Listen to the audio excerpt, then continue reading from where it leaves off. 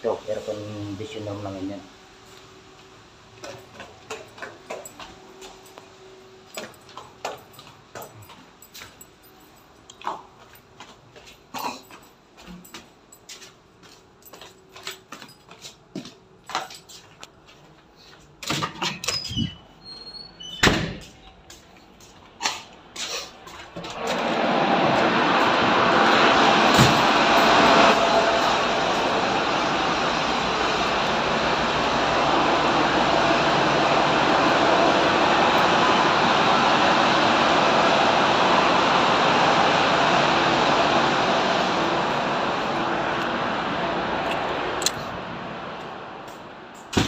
Dito kami ngayon sa dry dock eh, kaya medyo magulo.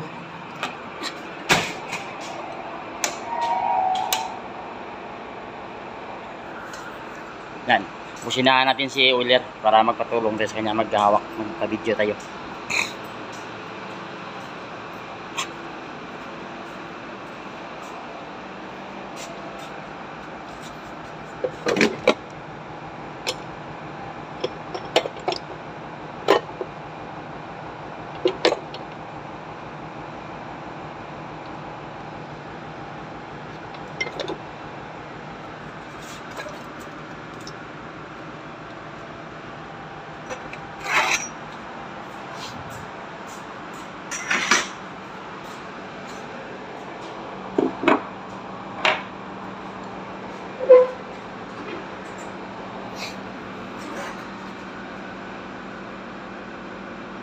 Guys, ito na ngayon ah. Patuloy na natin. Ito na ako sa engine room. Ito guys, ito yung tinatawag na inside micrometer. Kasi sa barko, yung ginagamit namin dito, dalawa. May inside micrometer tayo, saka may outside micrometer tayo dito. Ngayon, yung outside,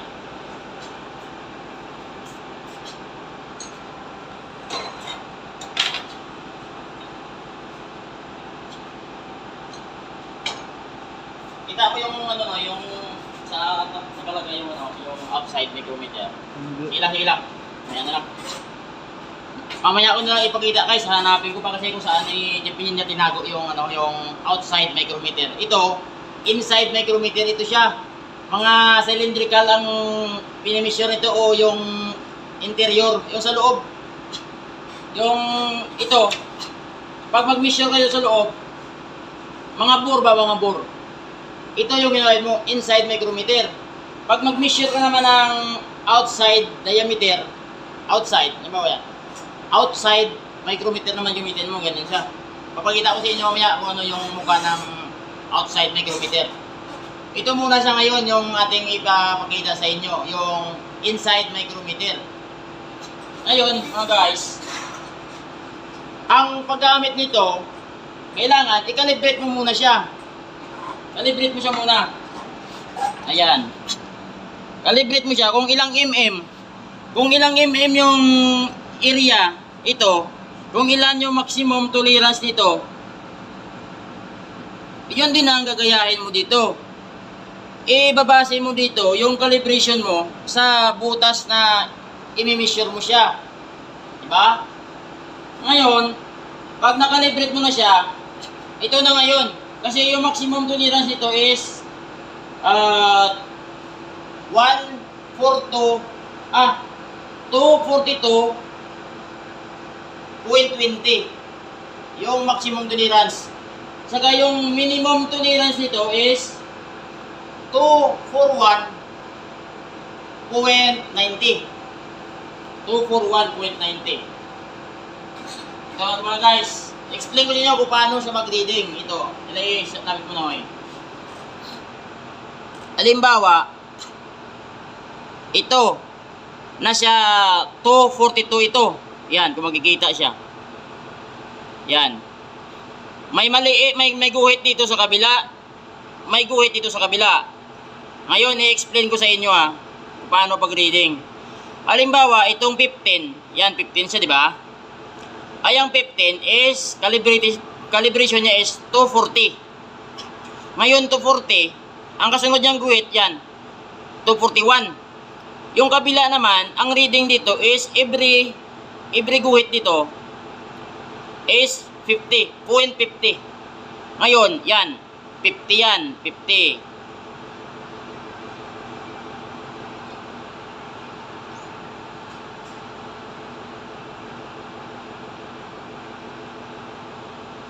Yan, yung reading niyan is ah 241.50.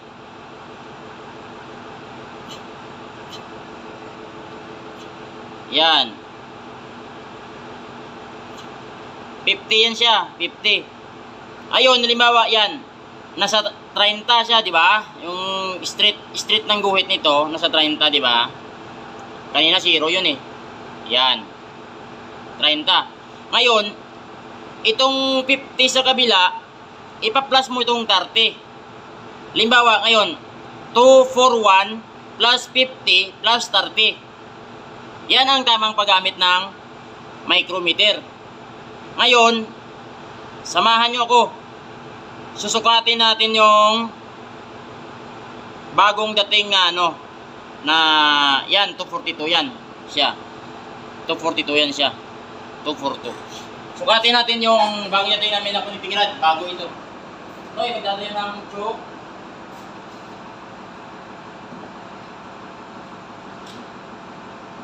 May nakita kayo ko.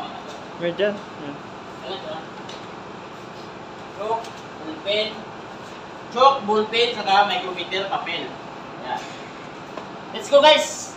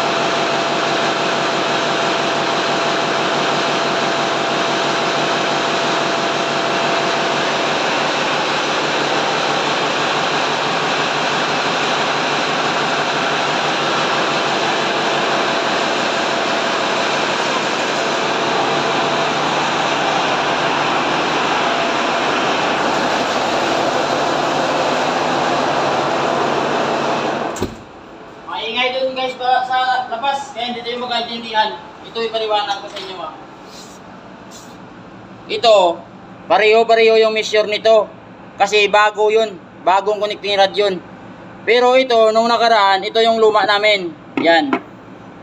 Yan. Yung 0.03 na yan, ibig sabihin yan, 242.03. Yan, ganyan siya. 242.03. Pero, pag bago, pareho lahat yan. Ibig sabihin, ang lalabas dito sa computation mo, kaya yan, sa computation niya, 0.10. Pag sa ibang ano, kumpanya, yung bi- binibigay nila na maximum tolerance ng iyong ubality, ito na yung calculation ng ubality mo siya. 0.10. Pero yung iba, yung maximum tolerance nila is 0.20. Ngayon, ang lalabas dito sa computation mo kasi bago ito, bagong connecting rod yun, yun ang isalpak namin sa number 2 generator namin kasi nagpalit kami kasi mataas yung ubality. Ngayon, ito siya, ang lalabas, magiging zero na lahat di- dito yan. Magiging zero na lahat yan kasi pare-pareho yung sukat. Ibig sabihin, mag zero, walang ubality siya. Perfect siya. Wala siyang ubality. Ngayon, yung sinukat ko, puro lahat pareho yung ano, yung resulta. Ibig sabihin, maganda yung dumating na ano, na spare namin ng connecting rod. Ito pa guys, explain ko. Bakit nga ba kumukuha tayo ng ubality measurement? Ito ah, simpleng explanation lang. Hindi naman ako talaga totally experiencado. Kasi first time ko mag akto bilang fourth engineer. Pero hindi ito sa akin trabaho. Kay third engineer ito trabaho. Pinapag-aralan ko lang to prepare myself baka mabigyan ako ng pagkakataon na maging 3-0 dito in God's will. Sana lang. Ngayon, bakit nga ba kumukuha tayo ng ubaliti? For the main reason, para na yung ating low fuel pressure, hindi siya babagsak. Yan. Ito yung connecting rod mo. May bearing dito. Ayun pala guys, yung sinukat ko na yon, ubality without bearing. Dalawang klase kasi yan. Pwede mo rin kunin ng ubality mo, ubality with bearing. Lagyan mo siya ng main bearing. Mamaya, kukuha ako ng isang sample, isang set ng ng bearing. Connecting rod bearing ah. Sorry, hindi pala main bearing. Connecting rod bearing. Kukuha ko ng sample. Iyon ang ginawa ko na yon, ubality without bearing. Bakit nga ba tayo kumukuha ng ubality? For the main purpose, para yung fuel pressure mo dito, mag-maintain siya. Hindi siya lalabas sa gilid. Sa gilid. Kasi yung ano mo dito, yung bearing mo, may slot din dito sa gitna. Papakita ko sa inyo mamaya, may slot din sa gitna. Kuha mo na kuha para klaro.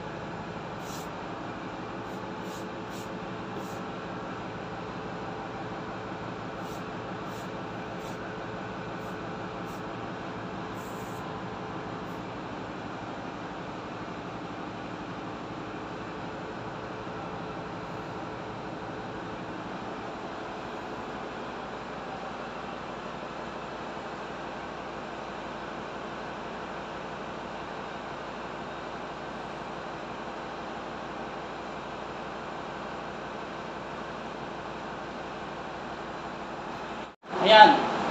Para maliwanagan tayo ng gusto. Maliwanagan nyo kayo ng gusto. Kumuha ako ng sample ng bearing. Connecting rod bearing ko siya mga guys. Sa mga hindi pa nakakita dito. Sa mga student pa lang na subscriber ko, mga follower ko, sana mapanood nyo ito kasi malagang bagay ito. Maswerte nga kayo kasi sa mga panahong ito ngayon, high-tech na. Nag-aaral lang kayo. May mga videos na kayo na mapapanood na actual na trabaho sa barko. Yan mga guys, oh. Yan, di ba may slots dito? Yan. Balik natin to kasi baka mapagkita ng tip inner. Yan. Ngayon, pag magkaroon siya ng ubality, lalabas dito yan yung langis. Kasi yung langis, galing sa taas yan, sa connecting rod. Dito yan, dito yan papasok, oh. Dito yan papasok. Papakita namin sa inyo maya yung butas ng connecting rod. Dito na eh. Pakita din na eh, para klaro na eh.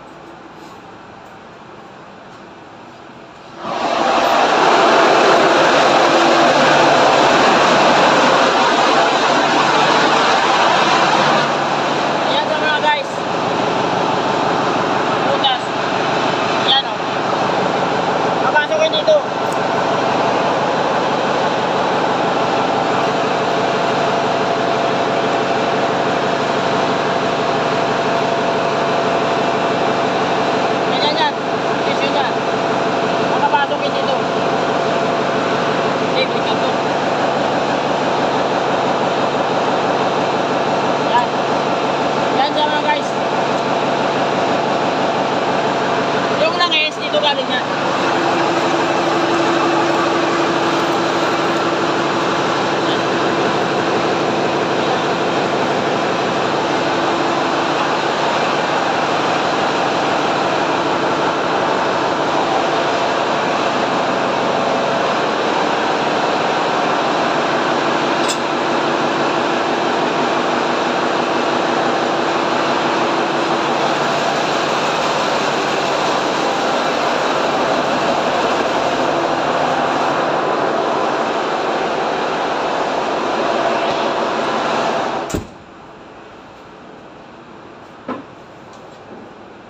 Kaya mga guys, pag mataas yung ubality, lalabas yung langis.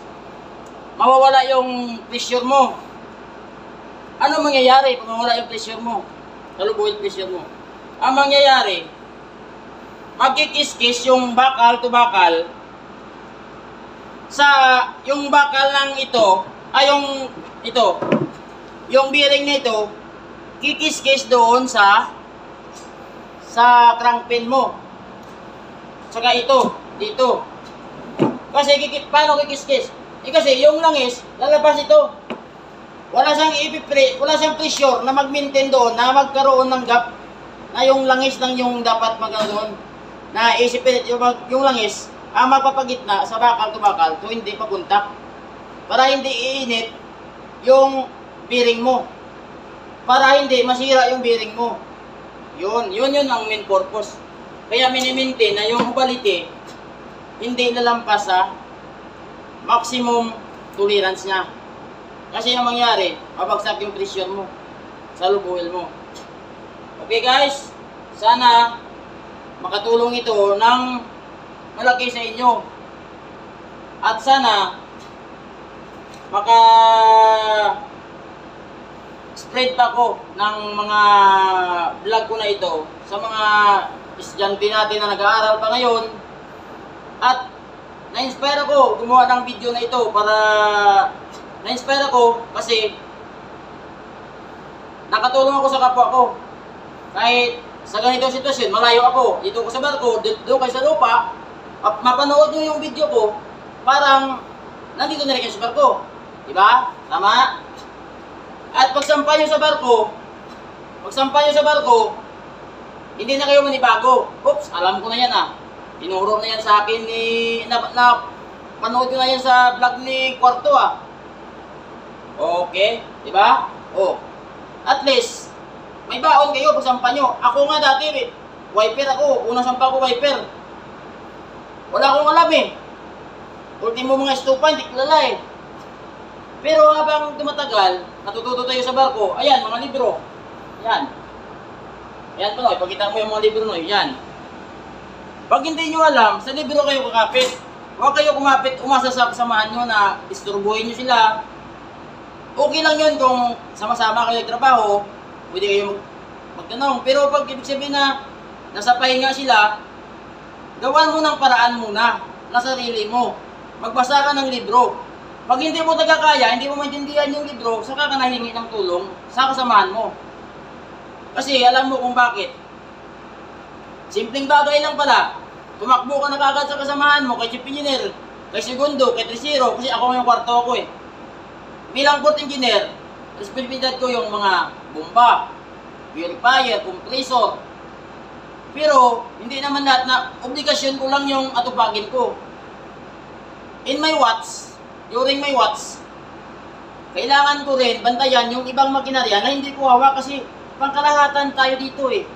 Hindi lang sabi nga, ah, mo yan kay third yan trabaho. Hayaan mo yan kay segundo yan trabaho. Dito sa barko, kahit hindi mo responsibilidad, pag sa oras ng duty mo, gawin mo yung tama. Gawin mo yung nararapat sa bilang naka-duty ka, na official. Ngayon, ito, yung umahawak ng kamera, ini-inspire ko ito, o wheeler namin, yan, pakita ko sa inyo, Nonoy Camilo, yan. Ini-inspire ko yan. Balang araw, maging future engineer yan. Kaya sabi ko, no, hawakan mo yung kamera natin. Para matuto ka. Tuto ka. Next time, ituturo ko mga synchronize, paano mag mag-synchronize ng generator.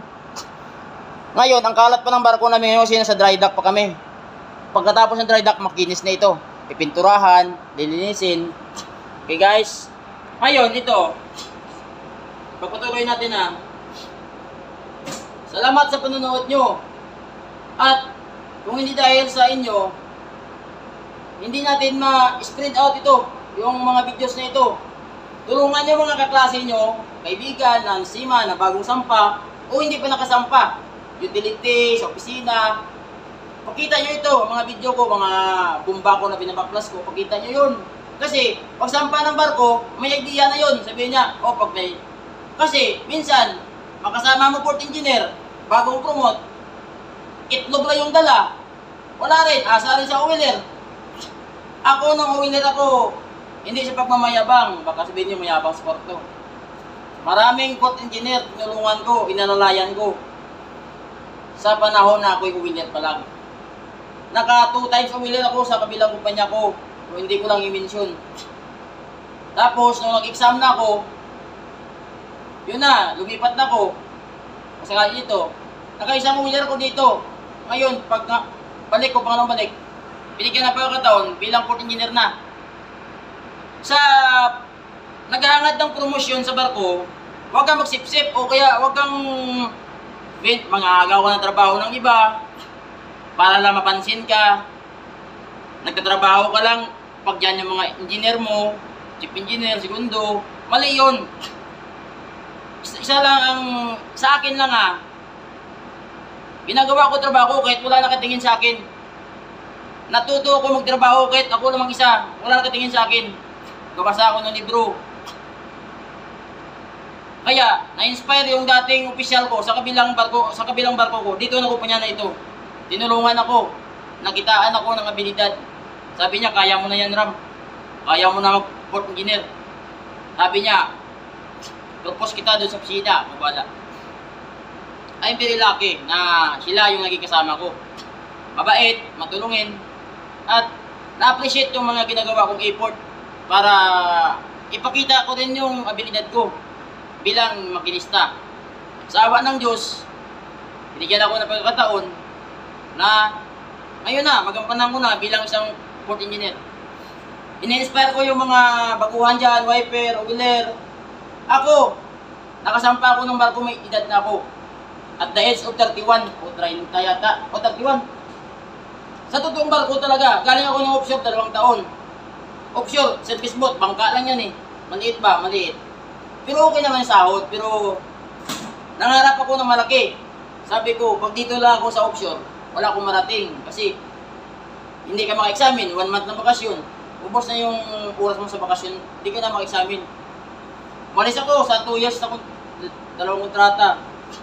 Ayun, at age of, at the age of 31, totoong barko na nagasampang ko, naging wiper ako. Pasalamat ako sa babaeng nakilala ko sa offshore. Sumakay sa aming bangka, sumampa sa barko. Kay Ma'am Sino pala, Ma'am, shout out, may love shout out sa iyo, Ma'am. Maraming maraming salamat. Hindi dahil sa iyo, wala ko dito. Utang ko yung kung ano ang katayuan ko ngayon, utang ko sa inyo. At gawin ko yung lahat na makakaya ko para ipagkita na hindi ka nagkakamali sa pagtulong sa akin. Saka, ini-inspire ko kayong mga baguhan dyan na mga marino, nag-aaral o bagusang pa. Mangarap kayo ng malaki, mataas. Hindi masama yung mangarap, basta samahan na pagsisikap. Huwag na puro pangarap lang, hindi ka naman gumagawa, tamad ka naman sa trabaho. Pagdating sa barko, tago-tago ka. Op, may trabaho dun ah, hindi ako punta dun. Mali yun. Kung saan yung trabaho, doon kayo. Kahit hindi man kayo pahawakin ng engineer nyo kasi ma- masilan, baka makasira kayo, manood lang kayo. Talang mata mo. Habang nanonood ka, makakuha ka na ng ideya, papasok mo sa ulo mo. Op, ganito pala. Kasi tayong mga baguhan, kuha naman tayo ng diskarte sa opisyal natin. Kung magaling opisyal mo mag-diskarte. Pero kailangan may sarili ka ring diskarte pag pagdating sa trabaho. Kung may sarili kang diskarte na mas maganda pa doon sa diskarte niya, i-apply mo. Na alam mo, na tama yung ginagawa mo. Huwag ka mo apply, puta mali, bulilyaso ka, uwi ka. Binis-contract ka na agad. Yan ang gawin mo. Pag umalaw ka, siguruhin mo yung galaw mo na tama ka. Kasi hirap hirap ang bulilyaso sa barko. Sa totoo lang. Una nakita ko, siyempre, may harong ka ba? Pero, malakas loob ko kasi alam ko, hindi ako pinabayaan ni God. Biyabatayan niya ko lahat sa lahat ng oras. Tapos, iniisip ko talaga, bawat ginagawa ko. Pag hindi ako sure, basa ako sa libro. Manual. Basa ako niyan. Natuto ko ng libro. Nahiya ako, humingi ng tulong sa mga kapwa ko engineer na bin, Sir, patulong naman, ganito, ganito. Gawin mo muna yung mga kaya mo. bago mo sila lapitan na hindi mo talaga kaya. Okay? At sa mga nanonood ngayon at makapapanood pa, big love shout out sa inyo lahat. Salamat sa panonood ng video ito. Sana makadagdag ng aral, makadagdag ng experience o kalaman. Kalaman sa inyo. At sa mga kaklase ko dyan, yung iba, Chief Engineer na, segundo, kay Chief Engineer Elrich. Chief, may kilot sapat sa'yo. At, keep safe.